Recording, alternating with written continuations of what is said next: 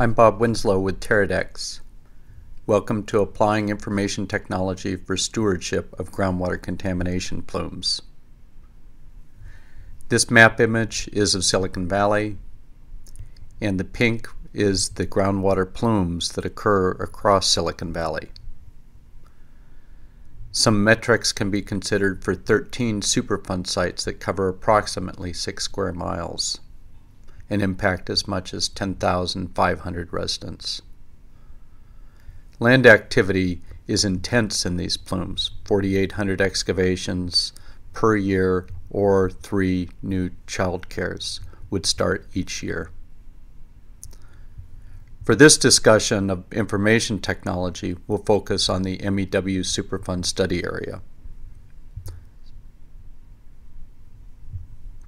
Study area is formed by a isoconcentration line of TCE and the site affects residential and commercial areas.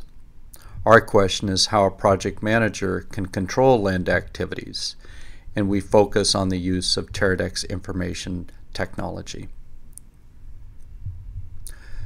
We begin with the project managers logging on to the website. We use something called the cleanup deck which stores the information for Terradex Landwatch services. We focus on the MEW study area.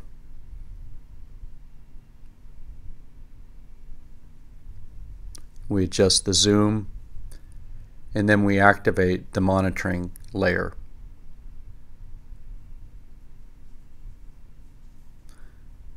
The initial focus is on land activity alerts. These are activities where certain criteria have been exceeded that would warrant giving notice to the project manager. We're looking at activities that occur in 2014 at the project site.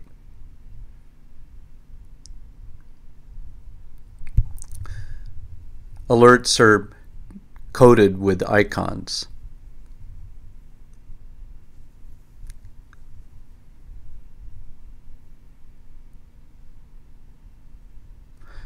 We can consider one sample alert, in this case an excavation into a street.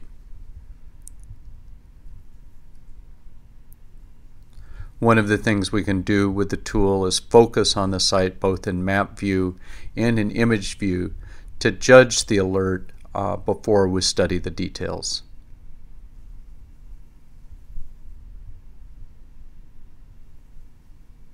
Pressing the I button and then moving to the icon allows us to focus on the activity. And then we click across to the actual land activity alert form. And here the details of the alert are seen, both its location, who the applicant is, and its view in the map view. The discussion of the alert is managed in this discussion form. And here we see a project manager marking her response into the form, saving the response, and in this case indicating that the alert is closed.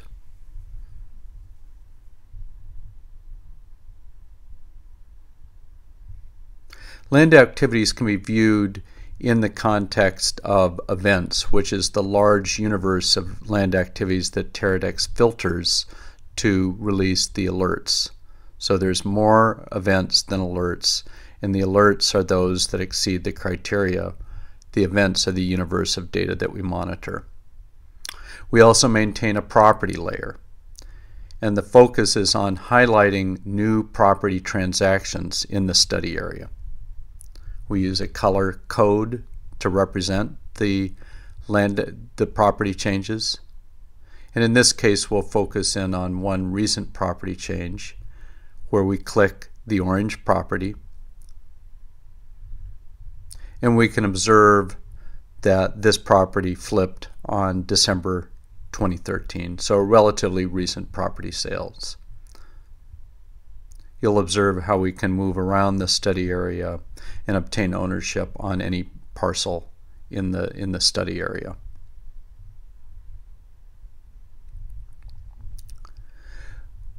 We work to maintain a layer of sensitive uses, and in this case, daycare and schools. So all the daycares and the schools near the project site are mapped. And again, you can click on one and get the basic information on the daycare.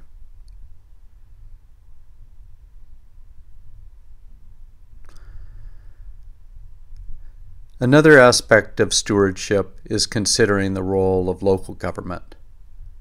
In this case, how can a local government planner make decisions at sites like this? And here we go to Palo Alto to show a pilot with the City of Palo Alto where we share the same information for a city planner. In this case, we look at the TCE and fuel plumes in Palo Alto. This is a flow through the city's GIS system to the Terradex information in what we call the cleanup deck.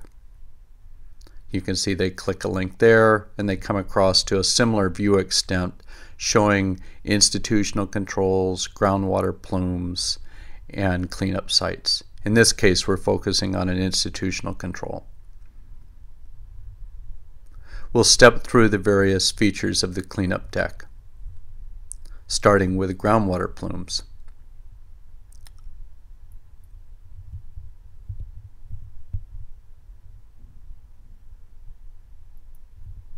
The various layers are activated. And in this case, we focused on the groundwater plume. We click the groundwater plume, and basic information about the groundwater plume is shown. Depth to groundwater, again with a link to a regulatory site that gives the basic information on the cleanup.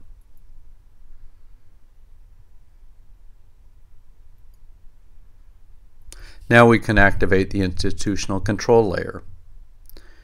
And here, a relatively comprehensive list of institutional control informa information is maintained.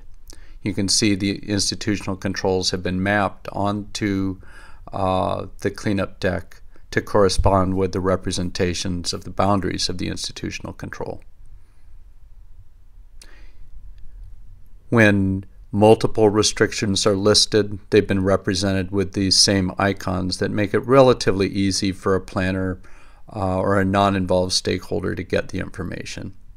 Documents would contain a link to the institutional control itself. And finally, we can take a look at cleanup sites. Here we click on a cleanup site and a balloon pops up allowing a basic overview of the site, again with a link to the regulatory information. So we've had a chance to look at two modes of discovering information. One is a project manager and secondly as a city official. Thus, we're making progress in stewardship of our groundwater plumes and other environmental impacts. Thank you very much.